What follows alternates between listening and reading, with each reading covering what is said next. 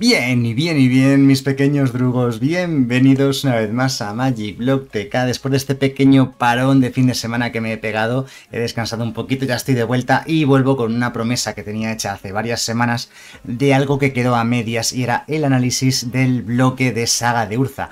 Ya hicimos el primer vídeo, 6 horas de vídeo analizando la primera colección del bloque de Urza, era la colección Saga de Urza, una de las mejores colecciones de la historia de este juego, y hoy continuamos con Legado de Urza, Urza's Legacy, la segunda colección de este bloque, que sin duda también vino a ser una de las más importantes, al menos en cuanto a nivel de poder, de la historia de Magic. Bueno, esta colección fue lanzada en febrero de 1999, estamos hablando todavía de la prehistoria de Magic prácticamente, y tenía como eh, tenía como nombre en clave que me ha hecho mucha gracia Guacamole. Cuando estaba en desarrollo, por aquí abajo lo podéis ver, era todavía el nombre que utilizaba. Son solamente 143 cartas, fecha oficial de lanzamiento 15 de febrero de 1999.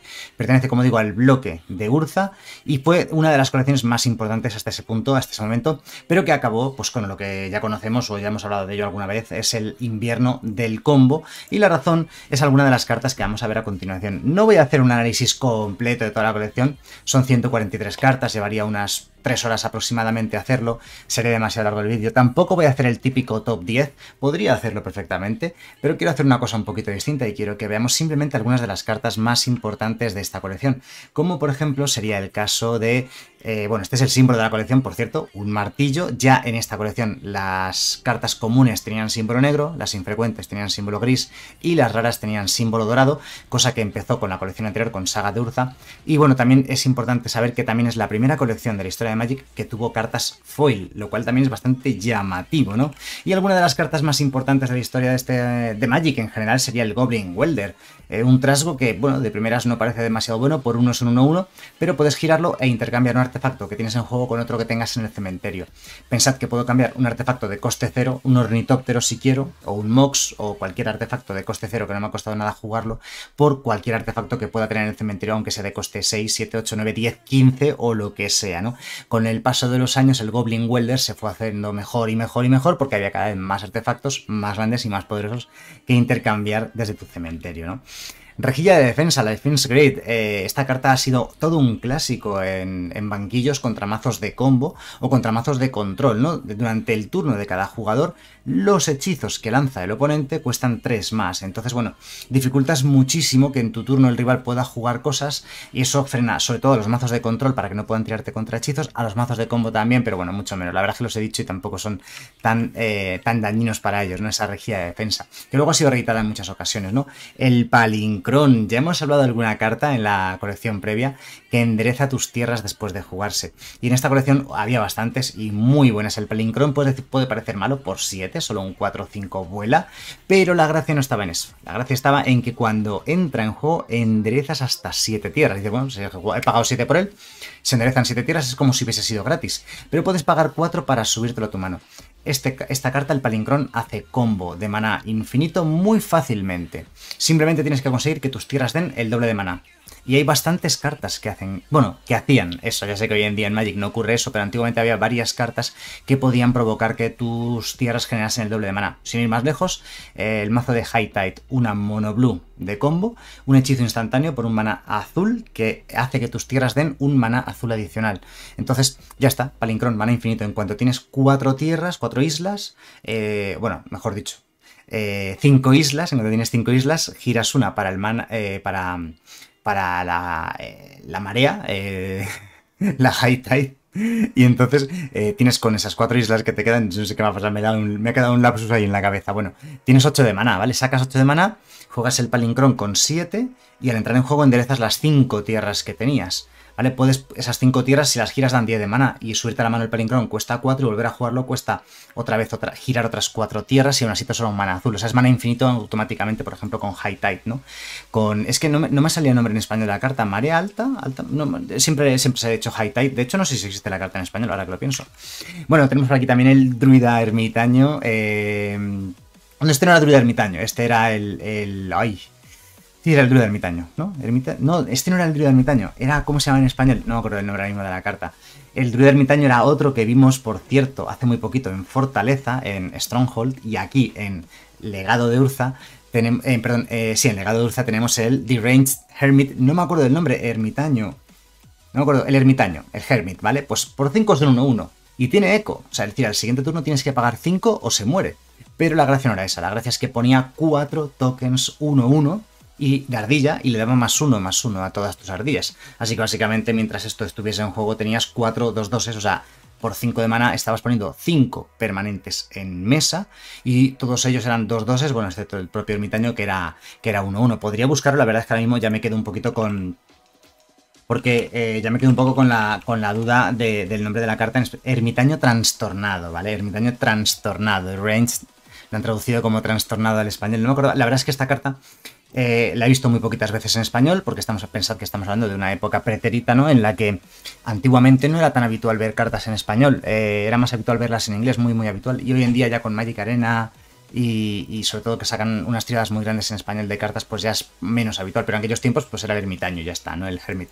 Bueno, una carta muy, muy, muy buena, así como la jarra del recuerdo, la Memory Jar, otro de esos eh, típicos roba 7. Cuesta 5 de mana, es cierto que es caro, pero roba 7 cartas básicamente. Bueno, dejas tu mano aparte, que puede que sea cero tu mano. La idea sería esa, que te quedes con cero cartas en mano y robas otras siete cartas.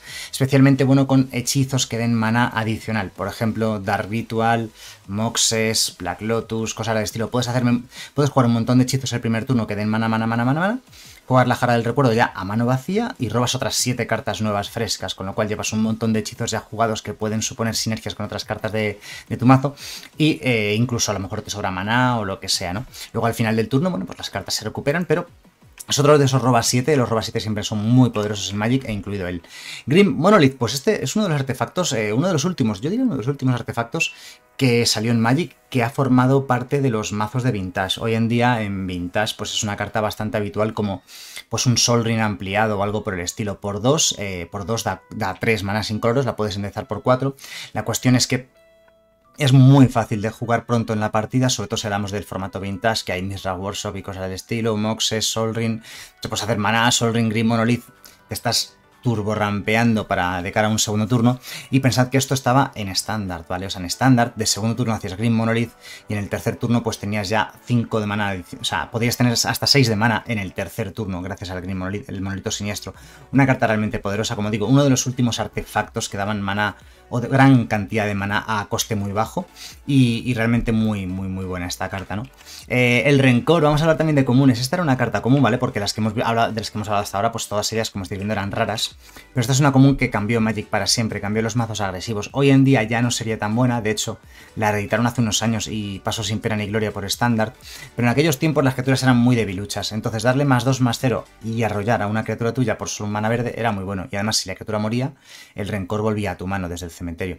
Bueno, volvía, sí, desde el cementerio. Así que realmente era una carta que hacía que tus, todas tus criaturas fuesen siempre mucho mejores, ¿no? Es un poco el preludio a lo que fueron los equipos posteriormente. Hoy en día los equipos también han quedado un poco atrás, un poquito obsoletos, pero el Rencor fue realmente muy bueno durante muchos años en todos los mazos agresivos con verde. Tenemos aquí la Tinker, esta sí me acuerdo del nombre, la hojalatera. Bueno, pues la Tinker aunque casi siempre de toda la vida habrás oído decir Tinker, es tremendamente brutal. Cambias un artefacto, bueno, tienes que sacrificar un artefacto para lanzar este conjuro y entonces buscas en tu mazo cualquier artefacto y lo pones en juego. Es decir, yo puedo estar sacrificando eh, un ornitóptero, voy a poner siempre el ejemplo del ornitóptero que es muy sencillo. Por cero, una criatura, artefacto, 0 o 2 vuela, la sacrificas y te buscas el artefacto más gordo que tengas en tu mazo y lo pones en juego. Por solamente 3 de mana, realmente una carta poderosísima, casi diría ridículamente poderosa, ¿no? Como digo, como también hemos dicho antes con el Goblin Welder, eh, según han ido pasando los años, Tinker se ha ido haciendo mejor y mejor. Sobre todo, las cartas relacionadas con artefactos de esta colección se hicieron ya buenísimas y totalmente rotas cuando salió unos pocos años después Mirrodin, eh, la primera colección del Magic moderno totalmente orientada a artefactos, ¿no? Donde salieron algunos artefactos realmente brutales como yo que sé, pues el Sundering Titan, el el que gana turnos, artefacto este que no me acuerdo ahora el nombre, ya sé cuál digo, ¿no? ¿Cómo se llamaba? Tengo una memoria de P, de verdad que soy terrible. Además, cartas que he jugado muchísimo durante muchos años. Otra carta de las que enderezaban tierras, Snap por dos, instantáneo, devuelve una criatura objetivo a la mano de su propietario, enderezas dos tierras. o sea, es, como gratis, ¿vale? No es gratis porque tienes que pagar dos, luego te devuelve dos, pero siempre y cuando tuvieses tierras que diesen más de un mana, ya como os he dicho antes, con High Tide, tú sí las dan el doble de mana. Pero hay muchas tierras que dan dos de mana o tres de mana, pues puedes sacar mana, snap, y enderezas y vuelves a sacar mana otra vez de forma adicional, dos o tres de mana con ello, ¿no? Una carta realmente muy, muy buena y, y un Unsummon muy a tener en cuenta, ¿no? Durante muchos años. Algo parecido pasó con la Cloud of Fairies, otra carta común, por cierto, algunas en, antiguamente en Magic había comunes buenas y había infrecuentes buenas, no es como hoy en día que todas las cartas buenas o son raras o son míticas. De hecho, en aquellos tiempos ni siquiera existían las míticas. Magic siempre ha sido un juego caro, pero antes era caro y ahora es brutalmente caro. O sea, es casi de lo único que se habla hoy en día. Ya no se habla del juego, ya solamente se habla de lo que vale el juego, de lo que valen las cartas, comprar las cartas, vender las cartas, solo se habla de dinero, ¿no? Bueno, pues en aquellos tiempos había comunes buenas que han marcado épocas. La Cloud of Fairies es lo mismo. Da igual, por dos es uno, uno vuela, pero no es lo importante. Lo importante es que cuando entra en juego enderezas dos tierras. Es un hechizo que, por ejemplo, te permite enderezar tierras que den más de un mana y por tanto sacar grandes cantidades de mana. Sin ir más lejos, en Saga de Urza tenemos la mejor tierra o una de las dos o tres mejores tierras de la historia, que es la Academia Que ya la comentamos en el vídeo pasado de, Saga Durza, que es una tierra que da un mana azul por cada artefacto que controlas. O sea que si tienes muchos artefactos dan mucho mana azul, Cloud of la vuelves a enderezar después de sacar un montón de mana azul, etcétera, etcétera. Y si no te sirve además, la puedes ciclar y robar otra carta. Una carta crema y que por cierto, pues en Pauper también ha sido muy, muy significativa y, muy determinante en el formato Pauper de solamente comunes. Durante muchos años. Otra carta buenísima, común, rotísima, por eh, la rotación de cosechas, la crop rotation, por un mana verde instantáneo. Tienes que sacrificar una tierra como coste adicional para jugarla, pero te permite buscar cualquier tierra en tu mazo y ponerla en juego. Cualquier tierra. O sea, es un busca tierras sin restricciones. Normalmente las, los buscatierras siempre tienen la restricción, te dicen, busca una tierra básica, ¿eh? O búscame un bosque, pero que sea básico. O búscame una isla. Pero no te dicen, búscame cualquier tierra, ¿no? Es muy poco habitual. De hecho, hace ya muchos años que no salen buscadores de tierras genéricos, y este es el caso, Crop Rotation, una carta tremendamente rota, porque por ejemplo, sin ir más lejos, te puedes buscar esa academia torarena de la que estamos hablando, por poner un ejemplo cualquiera. Y hablando de tierras, otra de las mejores tierras de la historia, al menos en su momento, la Tritop Village, em, ya no me acuerdo el nombre de esta carta tampoco en español, fijaos, y te giro la, o sea, te giro la Trito es una cosa súper típica que has oído mil veces, te giro la Trito.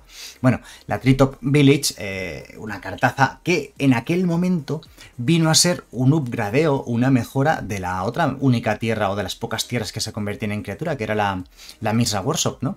Digo la Misra Workshop, la, la factoría de Misra, la Misra Factory.